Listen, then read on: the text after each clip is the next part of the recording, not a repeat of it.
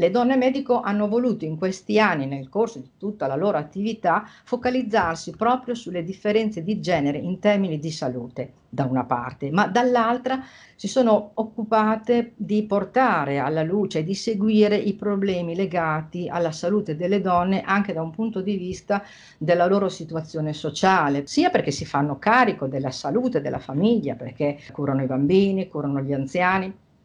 e quindi sia perché eh, sono loro che distribuiscono un po' la salute all'interno della famiglia, la custodiscono, la gestiscono, quindi c'è bisogno di informazione per loro, ma c'è bisogno anche di prendersi cura di loro.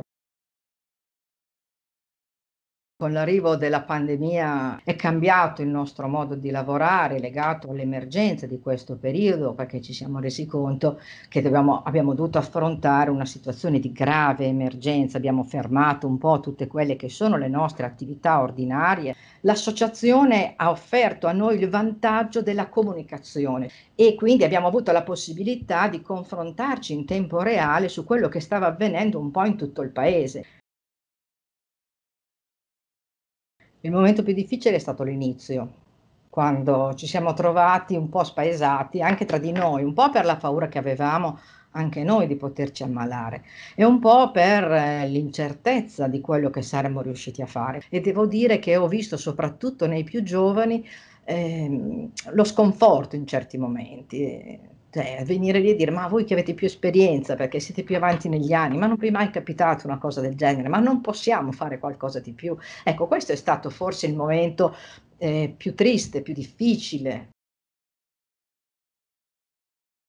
Il momento più bello lo attendiamo ancora perché il momento più bello sarà quando sarà tutto finito, sicuramente.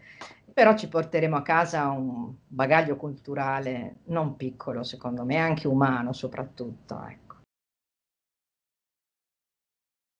Alle donne che, lavoro prima, che lavorano in prima linea come medico, che è molto importante perché le donne sanno lavorare, sanno lavorare duro, sono apparse alla ribalta soprattutto gli uomini, forse le donne medico si vedono meno, ma non per questo sono state meno impegnate e si sono date da fare. Forse devono avere più coraggio, emergere di più, perché io credo che le donne abbiano grandi potenzialità, le donne medico lo stanno dimostrando.